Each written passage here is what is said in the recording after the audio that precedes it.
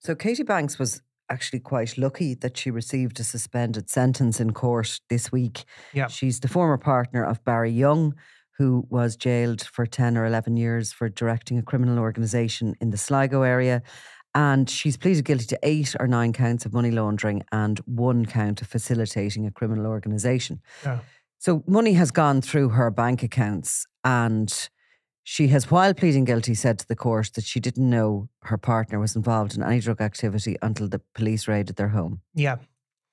Well, I mean, she obviously, not to claim she didn't tell the full truth in, in, in Mm. court, of course, but a simple Google would have told you that Barry Young's first conviction was over 20 years ago. That's what I was going to say. mean, like, I mean, he's you know, that- that- Yeah, he's Googleable, and he has he had that conviction that we used to always refer to. I think he was caught in a, a graveyard with a load of cannabis Hmm. many years ago. So a relatively minor conviction, but a conviction for sale or supply.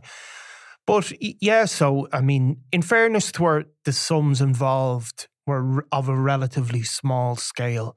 So if you compare her case to cases like uh, Deirdre Brady, the Mm. partner of Mr. Nobody, Declan Brady, where you had this huge wealth going through the accounts, some of the money that was that that she was uh, said to have lodged uh, were very small amounts. Three hundred euros was one of them. I think Mm. there was there was they were all, all in Another four little figures. bit of evidence that perhaps Barry Young might have been in the trouble that has been claimed that he owed so much money to the big organisation that he was literally operating essentially as a pawn to Mr. Big and that he was desperately um, trying to pay back. And, you know, Well, I think you see two things actually with this case. Um, like we we we discussed uh, at a previous date the John Gilligan strategy in the courts, where people, um, where John Gilligan obviously went through many many years of Mm. battles, fought every fought tooth and nail for every penny. But both Barry Young and now his former partner, they both pled guilty at an early stage. They both offered fulsome apologies for their activities and they both accepted total responsibility. Um, just a very interesting Mm. kind of strategy. And again, it shows the other thing um, that that the the criminal justice system, the guards and the DPP are absolutely seem committed to going after the partners of these gangland figures. Now, in, in fairness, Katie Katie Banks was like the money that she was convicted of was a small scale. Mm. You know, I think there was, you know, there was a 300 euros, there was a 100 euros, I think there was 3,800 euros and another another sum of money that went these through her going through the credit union and the bank. She is a mother, Yeah. um, the court was told. And she also claimed that she has been manipulated um, by and controlled by Young since she was a young teenager, obviously, since their relationship began. Uh, now, he hasn't much to lose. It could be quite manly for him to say, you know, He give me a, blame it on me. It could. Um, but look, I mean, she met him when she was 18. Uh, she, her solicitor in court described her as being manipulated and controlled and in a toxic relationship with, with Barry Young. Um, and that, you know, she was 18 when she met him. Uh, he was almost a decade older. So there was a big age gap and that she was naive and that um, she turned her life around to become a carer. So look, I mean, uh, I always have more sympathy than you for the women, don't I? No, I don't have no sympathy for her at all. I just think she's lucky she didn't get a custodial sentence. I mean, I suppose these are her first criminal convictions and she still will have them. But given the amount of counts of money laundering, and we have seen Yeah. so many others going to jail for money laundering, um, she was at risk of being put away for a period of time. Absolutely, and it was over a short enough period of time. Uh, she was done for facilitating a crime gang over basically over a year, February 2019 to 2020, and the money laundering occurred within an 18 month period, roughly the same. So I just think that I have to say that the the young enterprise down there, Sligo, and what has been going on, you know, behind the scenes has been quite extraordinary. These individuals sometimes will come to court with a story that will facilitate them getting a lesser sentence. is- Yeah. That's undoubted. So it's difficult as a cynical crime reporter to completely believe everything we're told in those circumstances. But when Barry Young himself came before the courts pleading guilty and his sentence hearing heard that he was living under this immense stress, um, that life was pretty shit, and he was quite glad really when the police came for him. Yeah. Yeah, um, like it's it's it's I, yeah, it wasn't a it wasn't a advertisement for the the life of crime, was it? It certainly wasn't. But I mean, we do know, I suppose, from our own sources that he certainly was operating as a bit of a lackey and under, um, you know, under that sort of powerhouse that is Mr. Big. Yeah. And he was dealing into the north, had many connections up in the north. Um, he comes up in the case the state are presenting in the north in relation to the um, murder of Robbie Lawlor. His, his, contact, Aidan Holland, is before the courts charged um, in relation to that murder, and he's denying it, uh, pleading not guilty. But bail hearings have heard evidence that the PSNI will state that he went to Sligo to meet Barry Young, and that's where that murder was organised. Yeah. Obviously, Holland's team will state different. He, they will claim that he was just friends with Young and he had an issue with his car, which is why he met up with Barry Young. But two very different scenarios there. But nonetheless, he was involved with the likes of Holland, and it was in his grandmother's front garden where Robbie Lawlor was was shot dead. So, you know, his from his location, his geographical location in Sligo, um, that territory probably does control a lar- large part of the north, or certainly does dealings with them. Um, obviously, Mr. Big is a very prominent criminal, so he's involved in that. But you know, would it be completely true to say that he was literally, you know, on his knees and just doing his bidding? And like we know other things about Barry Young. We do know in the past that he brought Mark Desmond down to the Sligo area to clean up his um, basically his act as an enforcer. I mean, so it's interesting, all right. Like for for such a, a, a, troubled and nice guy, the Barry Young presented himself in court. He does seem to keep bad company. He does. Like like yeah. uh, Mark Mark the guinea pig Desmond was one of the most feared and violent criminals in the underworld. Uh, Mr. Big again has a reputation and has been linked to numerous murders, including the murder of the real IRA boss Alan Ryan. So yeah, uh, but I suppose Barry Young came and pled guilty. And what happens in the courts then are that his defense solicitors, because he's given a guilty plea and he's accepted responsibility, they get a bit of free reign to put forward a narrative. That's their job. Yeah. You know, that's what they're meant to do. Um, you know, Barry Young um, in that court case, he described as living with living full of fear and full of anxiety, and you know, at times battling with with thoughts of not wanting to go on, uh, and being relieved when the police came in, and it would give you the impression of somebody who was as uh, you know, yeah, merely a gilly who was being forced to do various things that he wasn't comfortable doing. The contradictory part of that, of course, is that. Um, Last year, um, CAB raided a couple of properties in conjunction with the Spanish police over in Spain. Um, Barry Young, while describing himself almost as somebody who was just trying to uh, rob Peter to pay Paul, effectively been struggling to to fulfill debts. Um, over in Spain, he'd amassed a couple of properties, it is believed. Um, and then also, you know, even in that Barry Young case, you would hear of the levels of violence that that was used to enforce debts. How Barry Young used to uh, basically get freelance criminals to go down and attack people or threaten people. Um, so, look, I suppose. Desmond, of course, you know, notoriously was somebody known for using the the tool of rape to, in order to instill fear in anybody that was owed money or he was trying to get money off. So, I mean, a particularly nasty character. And obviously was close enough to Young to go down and work for him yeah. um, before he was murdered himself. Yeah, so look, these guys. I actually imagine it is very stressful being a being a top drug dealer. I wouldn't say it's uh, for the faint-hearted. I mean, I'm sure if if you sat uh, Daniel Kinahan down or or El Chapo, and I'm obviously mm. Barry Young isn't on that level, but if you sat them down and said, "Is this, you know how you, are nice and relaxed there doing the the old drug dealing?" I'm sure they're not.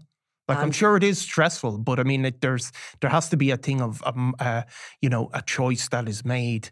Um, the so, PSNI have described Barry Young as an international. Yeah. uh, running an And, international. and that drug is outfit. that is no doubt what he was doing. Um, they were Or did he just have a gaff in Spain? No, no, he he was. It certainly was the belief that he was um, arranging deals over there um, and facilitating the movement of drugs into the im- importation of drugs into the country. Remember, again, he was caught in a particular snapshot Mm. of time, um, mostly to do with the WhatsApp messages Yeah, that he left on. sixteen His, thousand of them. yeah, so that's what he was done for. Yeah. It's a snapshot, and you Mm. saw his operation there, and he pled guilty Mm. within that context to, to what he pled guilty, and a lot of it was movements of cannabis.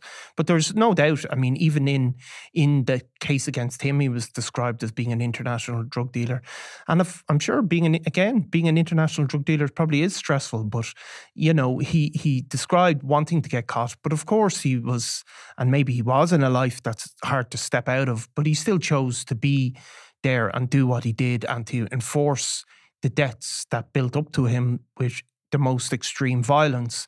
And He also chose that career path a long time ago. It must be 20 years since he first went to war, essentially, with the then uh, probably biggest drug dealing operation in Sligo, the Irwins. yes, And, you know, as a young man, he had a crew around him and was willing to go to war. Now, there wasn't, you know, Sligo wasn't overrun with gun crime because of the sort of feuds between the rival gangs, but there had been uh, certainly one murder and other attempted shootings yeah, um, centered on the Irwins' sort of uh, ability to hold the power down there.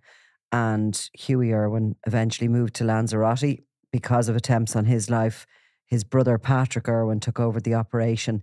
And Barry Young and Patrick Irwin were very much two alpha males in that area, um, fighting for, you know, fighting to win. If if it's you can look at it as simply as that.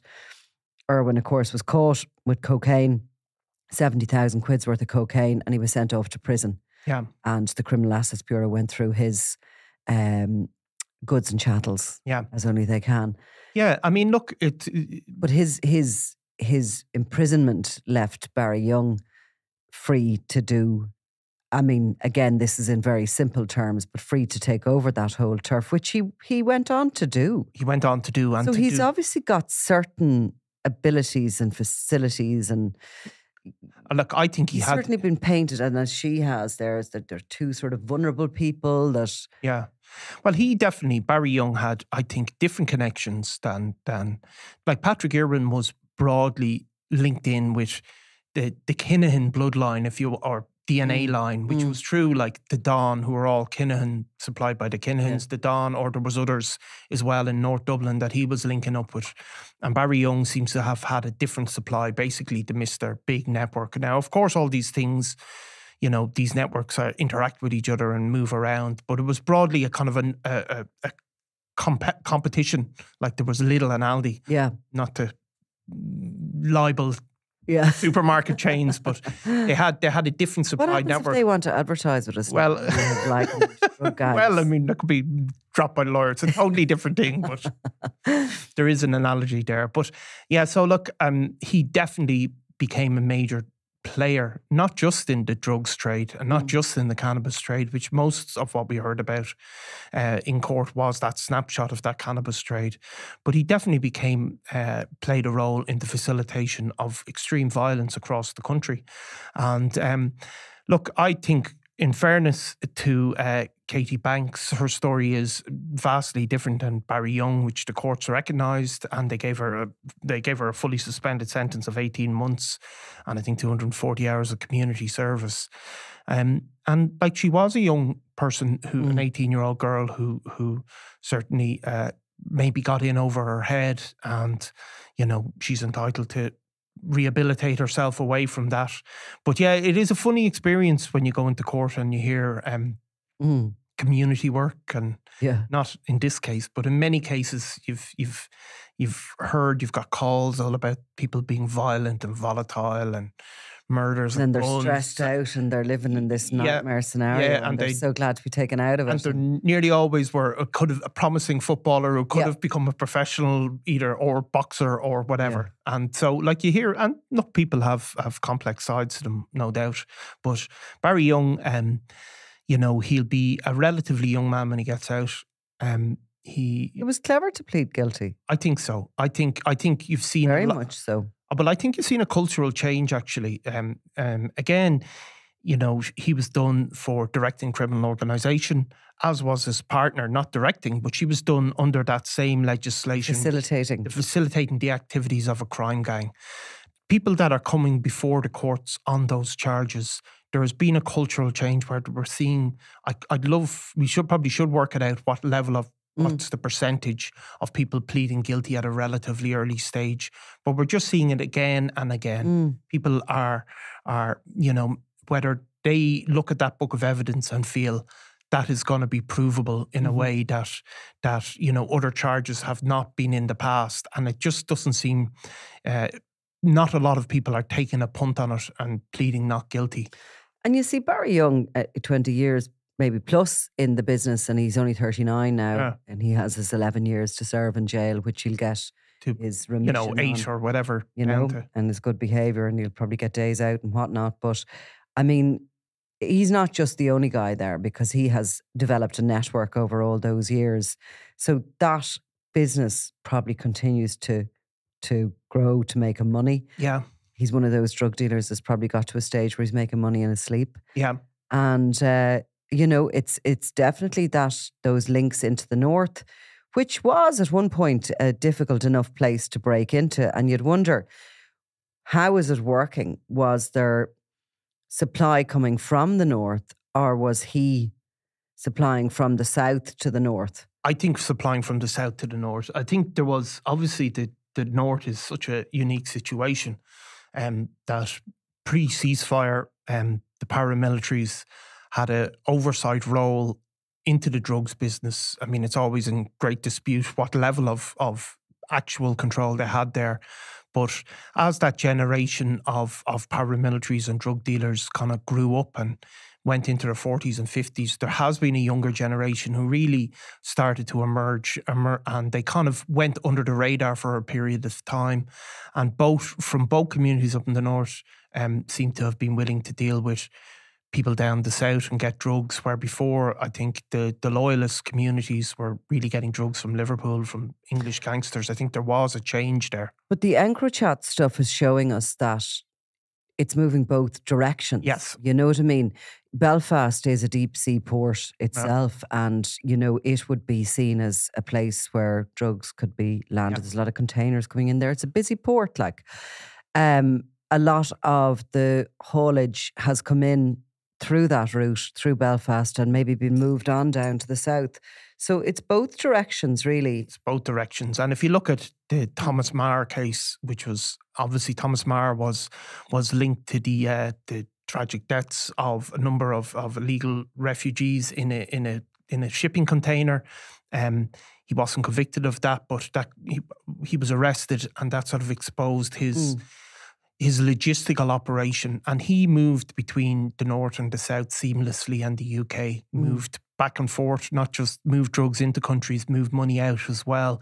And you could see that kind of interconnectedness, and also how the moving across borders, uh, while it might be complex for them to do, it also kind of that moving between jurisdictions can be hard for police forces to trace and keep a keep on top of. So, Thomas Meyer was a great example of, Mm. of you know he had operations across the border all the time and you know exactly you know drugs are coming in money is going out and it's just all the carousel a big carousel and And anywhere they can see an opening, they're getting the drugs in. yes and you know and and the reality of the drugs trade is the soon be drones.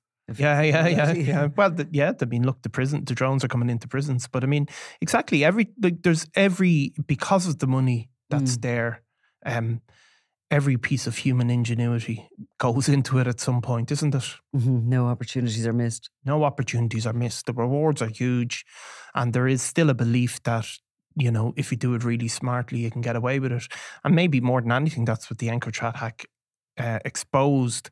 It exposed that kind of layer of people that weren't shooting people and hitting the papers, um, but were just the logistical, the real, the the, Mm. the blood flow of the whole business. I think loads of them were uh, effectively unknown before that EncroChat hack. I, you know, they Mhm. they they weren't suspected of things. I suppose, really, going back just briefly to Katie Banks, um, there was a time when a woman could, you know, expect no notoriety whatsoever for Yeah. the relationships. But I think she's another just example of, as you said earlier on there, how those women are constantly being targeted now. It's now part of the new police plan Yeah. um, and the new targeting of organised criminals. There's there isn't a woman I don't think that has No. been left No. uh, in the background in any of these investigations. No, and you know, it is it does make a type of sense as a deterrent, I suppose, um, because if the money can't be spent by you and it can't be spent by your loved ones, I mean, what is the point, I Mm. suppose? Um, you know, obviously the money that goes into bank accounts is only the tip of the iceberg as well. There'll be lots of money sloshing around. But if if if all the people around you are are fearful of becoming a target, it must it must be a deterrent and must make the, the business less attractive. And sure, look, we're seeing it, aren't we? They some people can't spend the money that they're making. For sure. Okay. Thank you. Thanks, Nicola. I'm Nicola Tallant, and you're watching Crime World, a podcast about criminals, drugs, and the underworld in Ireland and across the globe. Make sure you subscribe to our channel and turn on notifications so you can be the first to watch all our latest episodes. You can also listen wherever you get your podcasts.